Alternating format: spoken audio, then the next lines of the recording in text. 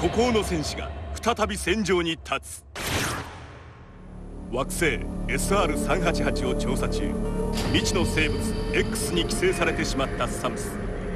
中枢神経を蝕まれ生死の境をさまようサムスを救ったのはあのベビーメトロイドから作られたワクチンだった。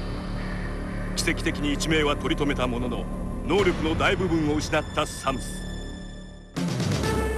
休む間もなく原因不明の爆発事故の起きた宇宙生物研究所へと降り立つ。多様なアクションを使い分け施設内で X が引き起こすトラブルを解決せよ。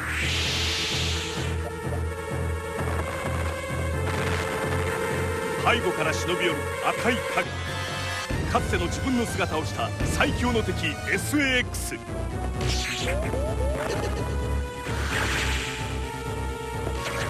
研究所内の X を倒し失われた能力を取り戻せ。生死をかけた壮絶な戦いがゲームボーイアドバンスでついに始まる。